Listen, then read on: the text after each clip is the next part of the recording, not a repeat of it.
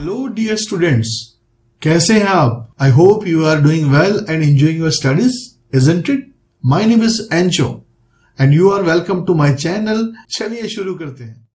आज इस video lecture में हम लोग जानेंगे बेंजाइन इंटरमीडिएट क्या होता है और इसकी स्ट्रक्चर कैसी होती है और किन किन रिएक्शन में बेंजाइन इंटरमीडिएट की फॉर्मेशन होती है।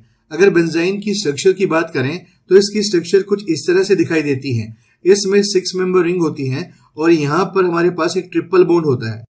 अब इस इंटरमीडिएट के रिगार्डिंग दो इंपॉर्टेंट क्वेश्चन ये बनते हैं कि अगर मान लो इस इंटरमीडिएट पर हम हक्कर रूल को ऑपरेट करें, जब हमने हक्कर रूल का वीडियो डिस्कस किया था तो उसमें हमने बेंजाइन इंटरमीडिएट को कंसिडर किया था और उस पर हक्कर रूल को ऑपरेट किया था। वहाँ हमने देखा था कि इस कंपाउंड में टोटल सिक्स पाई इलेक्ट्रॉन का कंजुगेशन होता है और सिक्स पाई इलेक्ट्रॉन के कंजुगेशन के कारण अगर इसमें एन की वैल्यू को वन रखा जाए तो ये four N plus two pi rule को फॉलो करता है और इसलिए हक्कर रूल के अकॉर्डिंग ये एरोमेटिक कंपाउंड होता है। अब यहाँ पे ध्यान रखने वाली बात यह है कि एक पाई बॉन्ड में दो इलेक्ट्रॉन होते हैं और टोटल इसमें फोर पाई बॉन्ड है, यानी इसमें एट इलेक्ट्रॉन हुए, जबकि हक्कर रूल के अकॉर्डिंग इसमें सिक्स पाई इलेक्ट्रॉन का कंजुगेशन है। तो इनमें से कौन सा ऐसा पाई बॉन्ड है जो कंजुगेशन में पार्टिसिपेट नहीं कर रहा? और दूसरा क्वेश्चन ये बनता है कि जैसे नाम से हमको पता चलता है, यहाँ वाई एन ई आ रहा है तो क्या ये ट्रिपल बॉन्ड है या कोई ये स्पेशल टाइप का बॉन्ड है? इन दोनों ही क्वेश्चन को बेंजाइन के इस डायग्राम के थ्रू हम एक्सप्लेन कर सकते हैं। यहाँ पर हमारे पास दो तरह के ऑर्बिटल दिखाए गए हैं, एक तो रेड कलर में है, दूसरा हमारे पास ब्लू कलर के है।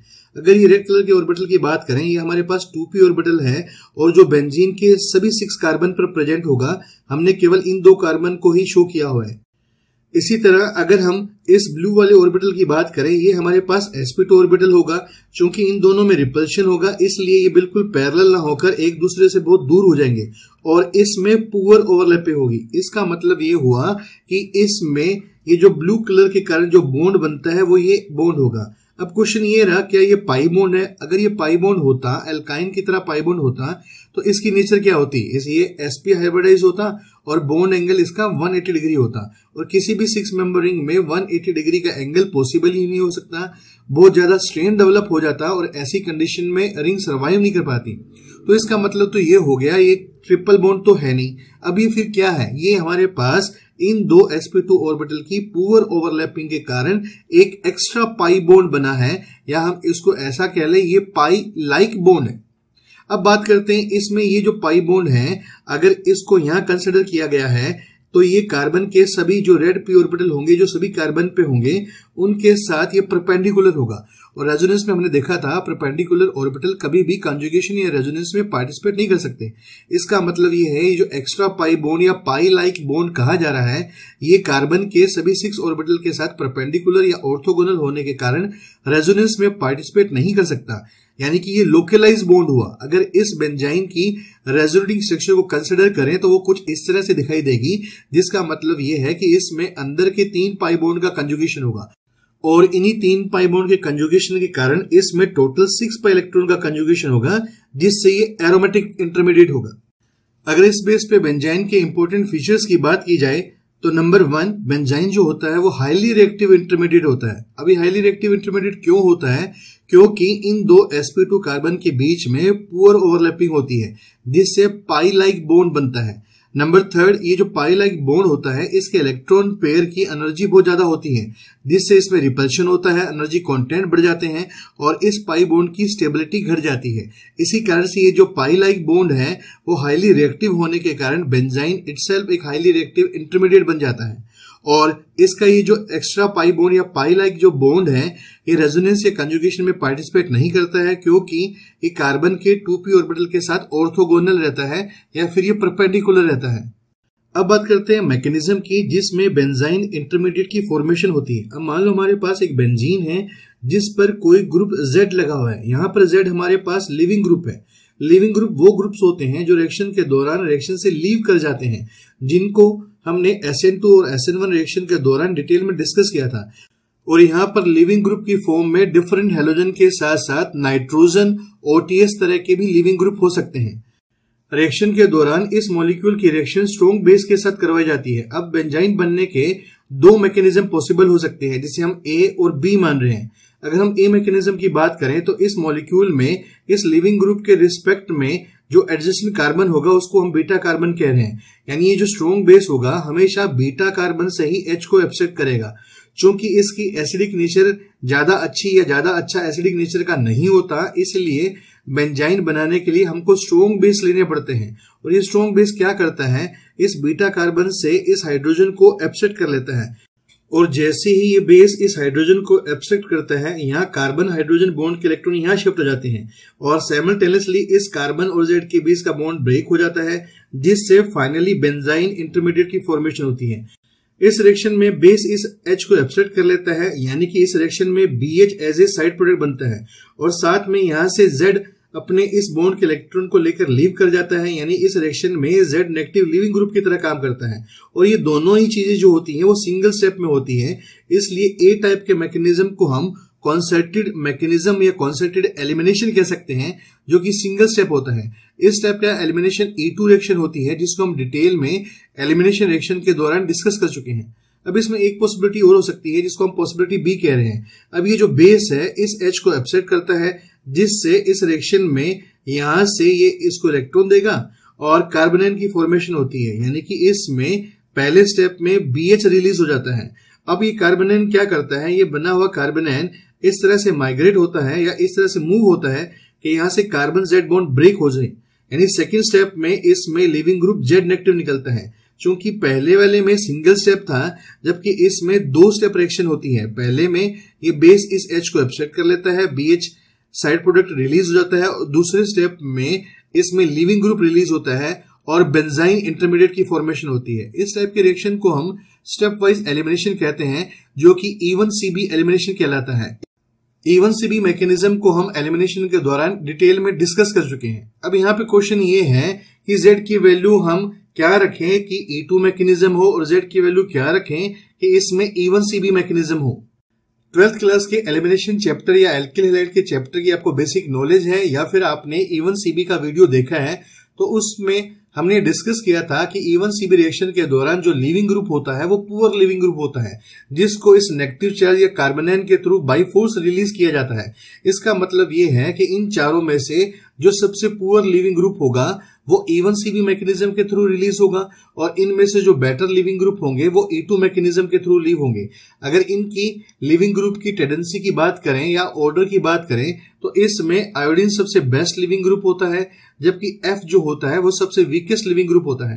अगर लिविंग ग्रुप को हम बेस के साथ कोरिलेट करें तो हमने इसी वीडियो में देखा था कि जो लिविंग ग्रुप टेंडेंसी या एबिलिटी होती है वो इनवर्सली प्रोपोर्शनल टू बेसिसिटी होती है। इनमें से जो जितना घटिया बेस होगा, वो उतना स्ट्रोंग एलजी होगा। इन दोनों तरह के मैकेनिज्म में जेड जेड नेगेटिव की फॉर्म में बाहर निकल रहा है, इसका मतलब ये चारों हेलोजन एज ए नेगेटिव बाहर निकलेंगे। ये एफ़ नेगेटिव की फॉर्म में बाहर निकलेगा और ये आई नेगेटिव की फॉर्म में बाहर निकलेगा। अगर इनकी बेसिसिटी को कंपेयर करें तो एफ़ नेगेटिव का साइज़ छोटा होने के कारण ये स्ट्रॉन्ग बेस होगा। अगर इसकी बेसिसिटी ज़्यादा है तो एफ़ नेगेटिव पुअर एलजी होगा। इसका मतलब ये है, अगर जेड की वैल्यू हमने एफ़ रखनी है तो ऐसी कंडीशन में, इसमें इवन सीबी मैकेनिज्म होगा। चूँकि बाकी ये तीनों जो होंगे, इनकी बेसिसिटी कम होगी, क्योंकि इनका साइज़ बड़ा होगा, इसलिए इनकी लिविंग टेंडेंसी जो होगी, वो ज़्यादा हो जाएगी। तो इसका मतलब ये है, अगर हमारे पास जेड की वैल्यू इसमें आई या बी आर या सी एल हुई, ऐसी कंडीशन में इनमें ई टू मैकेनिज्म फॉलो होगा। इन दोनों तरह के मैकेनिज्म में हमको ये ध्यान में रखना है कि इस बेस ने केवल उसी हाइड्रोजन को एब्सेक्ट करा है जो लिविंग ग्रुप के रिस्पेक्ट में बीटा पोजीशन पर हो।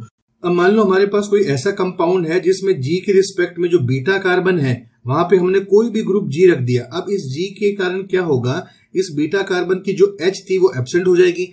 ऐसी कंडीशन में कितना भी स्ट्रॉन्ग बेस ले लें या कैसे भी कंडीशन को मेंटेन कर लें इसमें बेंजाइन फॉर्मेशन पॉसिबल ही नहीं हो पाएगी। अगर इस रिएक्शन की बेस की बात की जाए, चूँकि बीटा हाइड्रोजन की नेचर एसिडिक नहीं होती, इसीलिए इस रिएक्शन में बहुत स्ट्रॉन्ग बेस लेने की ज़रूरत होती है। और स्ट्रॉन्ग बेस के साथ साथ इसमें बहुत ज़्यादा हार्श कंडीशन यानी 300 से 500 यानी 300 डिग्री से 500 डिग्री सेंटीग्रेड तक टेम्परेचर भी मेंटेन करने की ज़रूरत होती है। और बेंजाइन इंटरमीडिएट इतना ज़्यादा रिएक्टिव होता है सम टाइम इससे डाइमर और ट्राइमर की भी फॉर्मेशन हो जाती है। बेंजाइन को इस मेथड के अलावा भी कई ऐसे मेथड है जिसके थ्रू सिंथेसाइज किया जा सकता है। अब हम इंपोर्टेंट मेथड को कंसिडर करते हैं, जिसके थ्रू हम बेंजाइन को सिंथेसाइज कर सकते हैं। जैसे नंबर वन अगर मान लीजिए हमारे पास कोई एनिलीन दी गई है और उसके एडजस्टेंट कार्बन पर कोई कार्बोक्सिलिक एसिड या उसका सिल्वर सोल्ट दिया गया है और ऐसी कंडीशन में इसका डाई एजोटाइजेशन किया जा रहा है। इस रिएक्शन को हम प्रीवियस वीडियो में अच्छे से डिस्कस कर चुके हैं। ऐसी रिएक्शन में जो टू ग्रुप होता है, वो डाई एजोटाइज हो जाता है और इस रिएक्शन में CO2 और नाइट्रोजन लीव करते हैं। अब ये CO2 किस तरह से लीव करती हैं, ये नेगेटिव चार्ज यहाँ मूव करता है और इस बॉन्ड के इलेक्ट्रॉन यहाँ चले जाते हैं और साइमल्टेनियसली यहाँ से नाइट्रोजन लीव कर जाता है। इस पूरी रिएक्शन में CO2 के साथ साथ नाइट्रोजन गैस लीव करती है और फाइनली बेंजाइन की फॉर्मेशन हो जाती है। और इसी तरह इसके सेकंड मेथड में मान लो हमारे पास बेंजीन पर दो डिफरेंट हेलोजन लगे हैं।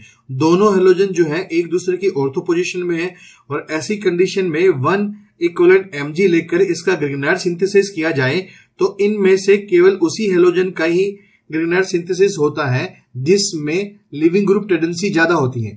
क्योंकि इसमें कार्बन और आयोडीन के बीच के जो बॉन्ड होता है, ये बॉन्ड कार्बन और फ्लोरीन के बीच के बॉन्ड से बड़ा होता है और बड़ा होने के कारण इजिली ब्रेक हो जाता है और ऐसे रिएक्शन में एमजी इनके बीच में इंसर्ट हो जाता है। जिससे हमारे पास एक ऑर्गेनोमेटलिक कंपाउंड की फॉर्मेशन होती है। इस पूरी रिएक्शन को हम ग्रिगनार्ड रिएजेंट के दौरान डिटेल में डिस्कस कर चुके हैं। अब इसमें बनने वाले ग्रिगनार्ड रिएजेंट में होता क्या है कि इसमें एम मेटल पर पॉजिटिव चार्ज और इस कार्बन पर नेगेटिव चार्ज जनरेट होता है। अब ये नेगेटिव चार्ज क्या करते हैं? यहाँ माइग्रेट करता है और यहाँ से एक poor leaving group F negative release हो जाता है और इस रिएक्शन में फाइनली हमारे पास बेंजाइन की फॉर्मेशन हो जाती है। अब मान लो हमारे पास कोई बेंजीन है, इस बेंजीन पर कोई लिविंग ग्रुप एक्स लगा हुआ है और लिविंग ग्रुप जिस कार्बन के साथ अटैच है, वहाँ पे स्टार मार्किंग की गई है, यानी कि यहाँ पर सी फोर्टीन आइसोटोप रखा गया है और जब इसकी रिएक्शन सोडामाइट के साथ in the presence of strong heating करवाई जाती है तो सरप्राइजिंगली दो प्रोडक्ट बनते हैं। अब बनने वाले दोनों प्रोडक्ट की अगर रेशियो की बात की जाए तो दोनों प्रोडक्ट की जो मात्रा या अमाउंट होती है, वो 50 50 परसेंट होती है। दोनों ही प्रोडक्ट जो है इक्वल अमाउंट में बनते हैं। अब दोनों में सबसे बड़ा डिफरेंस क्या है? दोनों में सबसे बड़ा डिफरेंस ये है कि इसमें NH2 उसी कार्बन से जुड़ा हुआ है, जिस कार्बन के साथ हेलोजन जुड़ा हुआ था, यानी C14 वाले कार्बन से जुड़ा हुआ है। जबकि दूसरे वाले प्रोडक्ट में NH2 ग्रुप इस C14 वाले कार्बन के एडजस्टेंट वाले कार्बन पे जुड़ा हुआ है। अब इसमें दो प्रोडक्ट किस तरह से बन सकते हैं, इसके लिए हम इसके मैकेनिज्म को कंसिडर करते हैं। इस रिएक्शन में लिविंग ग्रुप जिस कार्बन से जुड़ा रहता है, उसको हम अल्फ़ा कार्बन कहते हैं, और उसके एडजस्टेंट वाले कार्बन को हम बीटा कार्बन कहते हैं, क्योंकि इसमें alpha carbon radio isotope C fourteen वाला है। इसमें सबसे पहले बेस की रिएक्शन होती है, और बेस जो होता है, वो बीटा कार्बन से एक हाइड्रोजन को एब्सेट कर लेता है। अब ये बेस क्या करता है, इस बीटा हाइड्रोजन पे अपने इलेक्ट्रॉन को डोनेट करता है जिससे इस कार्बन हाइड्रोजन बॉन्ड के इलेक्ट्रॉन यहाँ पर शिफ्ट हो जाते हैं, जिससे हमारे पास एक कार्बोनाइन की फॉर्मेशन होती है। रिएक्शन के अगले स्टेप में अब इस कार्बोनिन के इलेक्ट्रॉन इस तरह से मूव होते हैं और इस रिएक्शन में एक्स नेगेटिव लिविंग ग्रुप बाहर निकल जाता है, जिससे इस स्टेप में फाइनली हमारे पास बेंजाइन की फॉर्मेशन हो जाती है। अब रिएक्शन के अगले स्टेप में अमोनिया के मॉलिक्यूल इस बेंजाइन पर अटैक करते हैं चूँकि रिएक्शन के फ़र्स्ट स्टेप में सोडामाइड से ये टू नेगेटिव बेस की तरह काम करते हैं और यहाँ से एक एच को एब्सेक्ट कर लेता है, यानी इस रिएक्शन में ammonia as a side product की फॉर्मेशन होती है। अब बनने वाला अमोनिया रिएक्शन के इस स्टेप में इस बेंजाइन पर न्यूक्लोफाइल की तरह अटैक करता है। रिएक्शन के इस स्टेप में बेंजाइन पर अमोनिया दो तरीके से अटैक कर सकता है क्योंकि इसमें अमोनिया न्यूक्लोफाइल है, यानी बेंजाइन का मॉलिक्यूल या इंटरमीडिएट इस रिएक्शन में इलेक्ट्रोफाइल की तरह काम करता है। क्योंकि इस रिएक्शन में बेंजाइन मॉलिक्यूल के ये दोनों जो कार्बन होते हैं वो सिमिलर होते हैं, इसलिए अमोनिया का मॉलिक्यूल इस कार्बन पर भी अटैक कर सकता है और अमोनिया का मॉलिक्यूल इस कार्बन पर भी अटैक कर सकता है। इनको हम दो पाथ मान लेते हैं। पाथ ए के अकॉर्डिंग अमोनिया इस मॉलिक्यूल पर अटैक करता है और जिसके कारण इसके पाई बॉन्ड के इलेक्ट्रॉन इधर शिफ्ट हो जाते हैं और इस पाथ ए से हमारे पास इस टाइप के इंटरमीडिएट की फॉर्मेशन हो जाती है। क्योंकि इस स्टेप में अमोनिया न्यूक्लियोफाइल है और उसका एन एटम इलेक्ट्रॉन देने का काम करता है, इसलिए इस डोनर एटम पर पॉजिटिव चार्ज की फॉर्मेशन हो जाती है। अब यहाँ से इंटरनल एसिड बेस रिएक्शन होती है। एक एच पॉजिटिव यहाँ से निकलकर इस कार्बन नेगेटिव के साथ अटैच हो जाता है, जिससे हमारे पास फाइनल प्रोडक्ट की फॉर्मेशन हो जाती है। बिल्कुल सिमिलर तरीके से अमोनिया इसमें इस तरह से अटैक करता है। इस बात को हम बी पात कह देते हैं। बी पात में अमोनिया जो होता है, वो इस कार्बन पर अटैक करता है, जिससे हमारे पास इस टाइप की इंटरमीडिएट की फॉर्मेशन हो जाती है। और बिल्कुल सिमिलर तरीके से इसमें इंटरनल एसिड बेस रिएक्शन होती है, जिससे हमारे पास फाइनली बी पाथ के थ्रू फाइनल प्रोडक्ट की फॉर्मेशन हो जाती है। चूँकि अमोनिया के इस कार्बन या फिर इस कार्बन पर अटैक करने की पॉसिबिलिटी बिल्कुल सेम होती है, इसलिए इसमें पाथ ए और पाथ बी दोनों इक्वल रेट से होते हैं और इसी कारण से इसमें दो तरह के प्रोडक्ट बनते हैं। अब ये दो प्रोडक्ट क्यों हैं? क्योंकि इसमें NH2 ग्रुप ऐसे कार्बन से जुड़ा हुआ है जो C14 वाला नहीं है, जबकि इसमें NH2 ग्रुप C14 वाले कार्बन से जुड़ा हुआ है। इसीलिए इन दोनों प्रोडक्ट की फॉर्मेशन 50-50 परसेंट होती है। अब यहाँ पे ध्यान रखने वाली बात यह है जो हमारे पास स्टार्टर था, उस पर लिविंग ग्रुप के अलावा बेंजीन पर और कोई भी ग्रुप लगा हुआ नहीं था। अब मान लो कोई हमारे पास ऐसा केस हो जिसमें बेंजीन में इस लिविंग ग्रुप के अलावा कोई और ग्रुप लगा हुआ हो, तब रिएक्शन कैसे करनी है, इसके लिए ग्रुप को हमने दो कैटेगरी में डिवाइड कर रखा है। जैसा कि अभी हमने मेंशन किया, अगर बेंजीन पर किसी लिविंग ग्रुप के अलावा कोई ग्रुप लगा हुआ है तो उस ग्रुप की दो कैटेगरी हो सकती है। या तो वो इलेक्ट्रॉन डोनेटिंग ग्रुप हो सकता है, या फिर वो इलेक्ट्रॉन विड्रोइंग ग्रुप हो सकता है। यहाँ ये ध्यान रखना है कि इलेक्ट्रॉन डोनेटिंग नेचर या इलेक्ट्रॉन विड्रोइंग नेचर उसकी सिर्फ़ इंडक्टिव इफ़ेक्ट के बेस पे ही निकालनी है। यानी ऐसे केस में उसका हाइपर कंजुगेशन और मिजोमेरिक इफ़ेक्ट कभी भी कंसिडर नहीं करना है। ऐसा क्यों है? क्योंकि डिस्कशन के स्टार्टिंग में हमने देखा था कि ये जो एक्स्ट्रा पाई बोन्ड या जो पाई लाइक बॉन्ड बनता है ये परपेंडिकुलर ऑर्बिटल में होता है और इस कारण से रेजोनेंस में पार्टिसिपेट नहीं कर सकता। इसलिए कोई भी ग्रुप हो, जैसे मान लो एल्काइल ग्रुप है तो इनमें कभी भी इनका प्लस एच कंसिडर नहीं करना है प्लस आई ही कंसिडर करना है। और बिल्कुल इसी तरह से अगर किसी ग्रुप का माइनस एम या प्लस एम हो, ऐसी कैटेगरी में भी उसका मेजोमेरिक इफ़ेक्ट को कंसिडर नहीं करना है। केवल माइनस आई के बेस पर उसकी इलेक्ट्रॉन विड्रोइंग नेचर को चेक करना है। अब इस मैकेनिज्म के दौरान चाहे इलेक्ट्रॉन डोनेटिंग ग्रुप प्रेजेंट हो या फिर इलेक्ट्रॉन विड्रोइंग ग्रुप प्रेजेंट हो, इसकी टोटल सिक्स कंडीशन हो सकती हैं, जिसमें से तीन कंडीशन इलेक्ट्रॉन डोनेटिंग ग्रुप के वक्त हो सकती हैं और तीन कंडीशन इलेक्ट्रॉन विड्रोइंग ग्रुप के वक्त हो सकती हैं। इसमें होगा क्या कि इनमें जो स्टार्टर होगा, उसमें leaving group electron donating group के रिस्पेक्ट में ऑर्थो पोजिशन पर हो सकता है, या फिर मेटा में हो सकता है, या फिर पैरा पे हो सकता है। और इसी तरह अगर इलेक्ट्रॉन विड्रोइंग ग्रुप प्रेजेंट है, इसके रिस्पेक्ट में लिविंग ग्रुप उसकी ऑर्थो पे मेटा पे या पैरा पे हो सकता है। अब बात करते हैं इनसे रिएक्शन किस तरह से प्रोसीड होती है।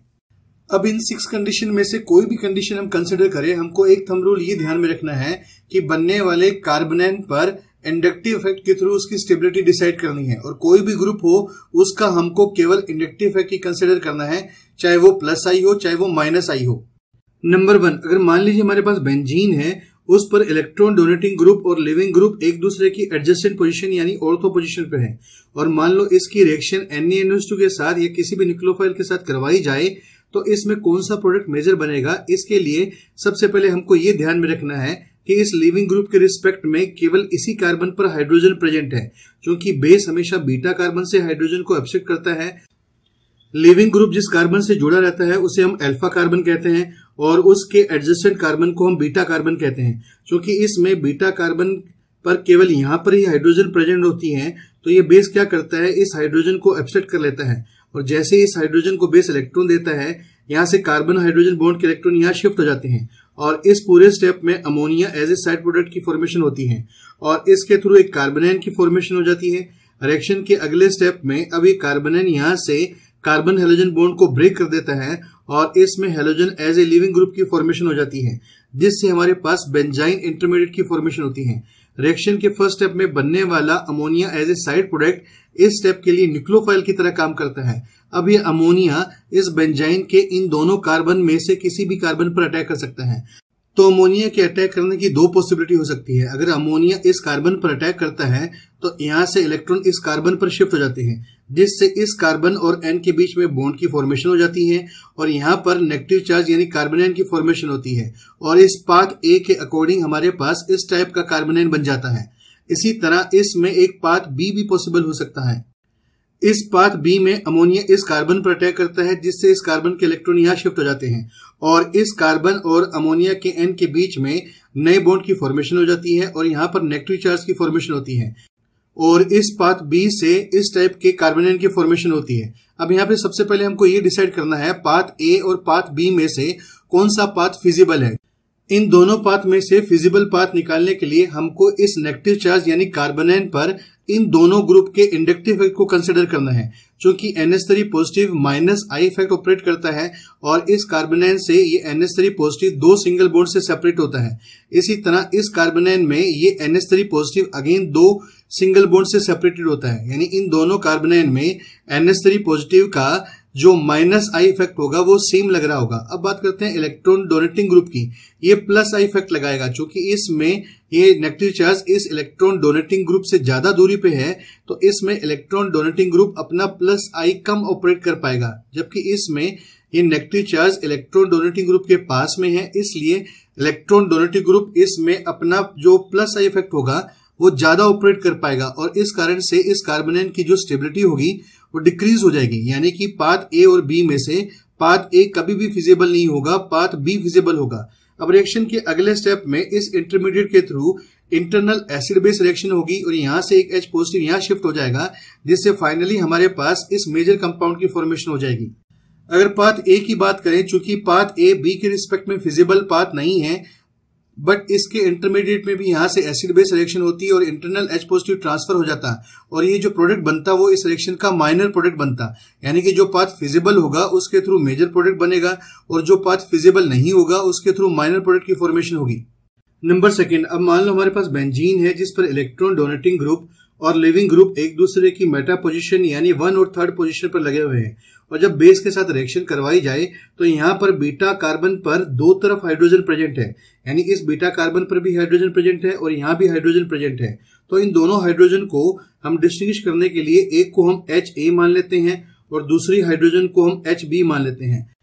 अभी बेस का मॉलिक्यूल इस बी हाइड्रोजन को भी अपसेट कर सकता है, इस ए हाइड्रोजन को भी अपसेट कर सकता है। अगर मान लो ये बेस का मॉलिक्यूल इस बी हाइड्रोजन को अपसेट करता है तो यहाँ से इस टाइप के कार्बोनाइन की फॉर्मेशन हो जाती है। और अगर बेस का मॉलिक्यूल इस ए हाइड्रोजन को अपसेट करता है तो यहाँ से इस टाइप के कार्बोनाइन की पॉसिबिलिटी होती है। अब इन दोनों में से कौन सा कार्बोनाइन ज़्यादा स्टेबल है, या फिर हम ऐसा कह लें कि ये जो बेस होगा, इन दोनों हाइड्रोजन में से केवल उसी हाइड्रोजन को एब्सेप्ट करेगा जिसकी एसिडिक स्ट्रेंथ ज़्यादा होगी। और एसिड बेस के कॉन्सेप्ट में हमने ये देखा है कि कहीं भी एसिड की स्ट्रेंथ निकालनी हो तो वहाँ से हाइड्रोजन को रिमूव कर दिया जाता है और बनने वाले कॉन्जुगेट बेस यानी नेगेटिव चार्ज की स्टेबिलिटी को कंसिडर किया जाता है। क्योंकि इसमें negative charge electron donating group के बहुत पास में है, जबकि इसमें negative charge electron donating group से दूर में है। इस कारण से इन दोनों नेगेटिव चार्ज या कॉन्जुगेट बेस में से इस कॉन्जुगेट बेस की स्टेबिलिटी ज़्यादा होगी। या हम ऐसा कह लें कि इन दोनों हाइड्रोजन में से जो एच बी हाइड्रोजन होगी, उसकी एसिडिक स्ट्रेंथ एच ए से ज़्यादा होगी। इसी कारण से ये जो बेस होगा, केवल एच बी हाइड्रोजन को ही एब्सेक्ट करके फाइनल मेजर रूट को फॉलो करेगा। अब बनने वाला ये कार्बोनेन क्या करेगा? रिएक्शन के अगले स्टेप में इस नेगेटिव चार्ज के माइग्रेशन से यहाँ से हेलोजन को लीव कर देगा। यानी हेलोजन इसमें एज ए साइड प्रोडक्ट या लिविंग ग्रुप बनके बाहर निकल जाएगा। अब इससे हमारे पास बेंजाइन इंटरमीडिएट की फॉर्मेशन होगी। और रिएक्शन के फ़र्स्ट स्टेप में जो साइड प्रोडक्ट अमोनिया बना था, वो इस स्टेप के लिए अब न्यूक्लोफाइल की तरह काम करता है।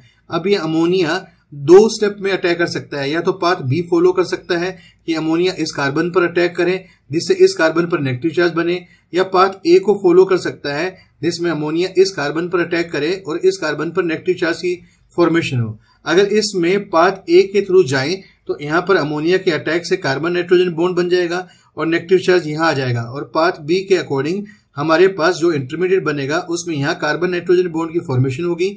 या नेगेटिव चार्ज आ जाएगा। अगेन इस पाथ ए और बी में से कौन सा फिजिबल पाथ है, इसके लिए इन दोनों नेगेटिव चार्ज की स्टेबिलिटी को देखना पड़ेगा। क्योंकि ये negative charge electron donating group के पास में है, इसलिए इलेक्ट्रॉन डोनेटिंग ग्रुप अपने प्लस आई के थ्रू इस नेगेटिव चार्ज की स्टेबिलिटी को डिक्रीज कर देंगे। इसी कारण से इस पाथ ए और पाथ बी में से पाथ ए फिजिबल नहीं होगा, जबकि पाथ बी फिजिबल होगा। और पार्ट बी में बनने वाला अभी ये intermediate internal acid base reaction करेगा और यहाँ से एक एच पॉजिटिव यहाँ चला जाएगा, जिससे फाइनली हमारे पास इसके मेजर प्रोडक्ट की फॉर्मेशन हो जाएगी। और पार्ट ए अगर होता तो उससे माइनर प्रोडक्ट की फॉर्मेशन होती।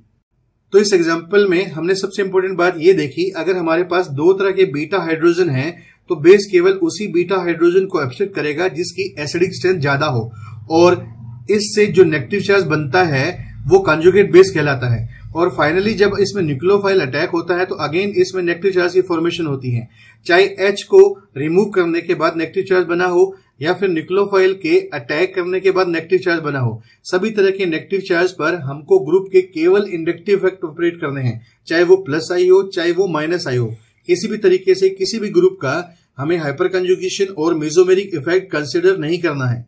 नंबर थर्ड अगर मान लीजिए इलेक्ट्रॉन विड्रोइंग ग्रुप दिया गया हो और उसमें लिविंग ग्रुप एक दूसरे की मेटा पोजीशन पर यानी वन और थर्ड पोजीशन पर हो, ऐसी कंडीशन में जब बेस के साथ इसकी रिएक्शन होती है, इसमें लिविंग ग्रुप के रिस्पेक्ट में दो बीटा कार्बन प्रेजेंट होते हैं और दोनों पर हाइड्रोजन प्रेजेंट होती है। तो इसलिए हम सबसे पहले क्या करते हैं, इन हाइड्रोजन की मार्किंग कर लेते हैं। एक को एच ए मान लिया और दूसरी को हम एच बी मान लेते हैं। अगर बी हाइड्रोजन एब्सेक्ट होती है तो इससे इस टाइप के कार्बोनियन की फॉर्मेशन होती है। और अगर ए हाइड्रोजन एब्सेक्ट होती है तो इससे इस टाइप के कार्बोनियन की फॉर्मेशन होती है। इन दोनों कार्बोनाइन में से ये कार्बोनाइन ज़्यादा स्टेबल होता है क्योंकि इस वक्त हमारे पास इलेक्ट्रॉन विड्रोइंग ग्रुप है, इसलिए इस नेगेटिव चार्ज को इस इलेक्ट्रॉन विड्रोइंग ग्रुप के पास में बनाना है।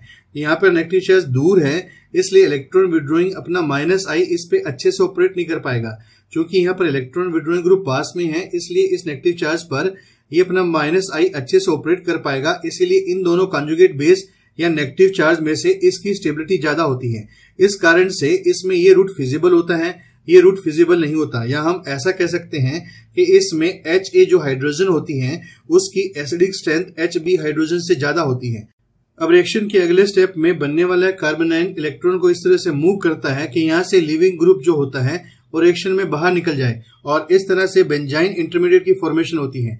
रिएक्शन के फ़र्स्ट स्टेप में निकलने वाला अमोनिया साइड प्रोडक्ट इस स्टेप के लिए न्यूक्लोफाइल की तरह काम करता है। अब बेंजाइन के इन दोनों कार्बन को हम ए और बी मान लेते हैं। अमोनिया अगर ए कार्बन पर अटैक करता है तो इसको हम पाथ ए मान लेते हैं, जिससे इस टाइप के इंटरमीडिएट की फॉर्मेशन होती है।